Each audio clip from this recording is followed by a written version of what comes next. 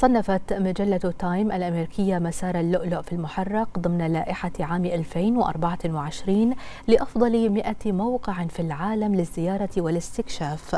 مسار اللؤلؤ يعتبر من المشاريع السياحية والثقافية والتراثية المميزة التي تجمع الأصالة والحداثة بشكل فريد يرضي فضول الزوار بمختلف أعمارهم.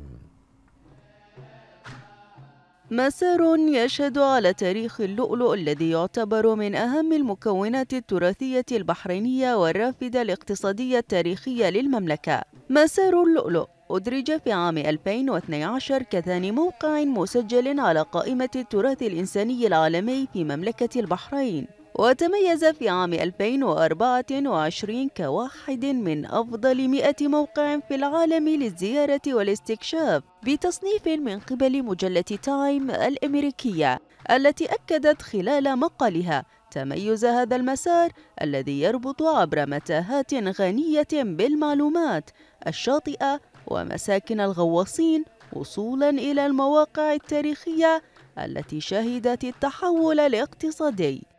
مسار اللؤلؤ يأتي كموقع استثنائي يترجم الهوية البحرينية الثقافية ويستعرض الذاكرة التاريخية والتجربة العريقة التي تجمع أبعاداً اقتصادية واجتماعية وثقافية عبر أكثر من 15 موقعاً يفتح الأبواب على مصراعيها نحو اطلاع تاريخي مميز يلهم النفوس ويشبع بتفاصيله الأعين.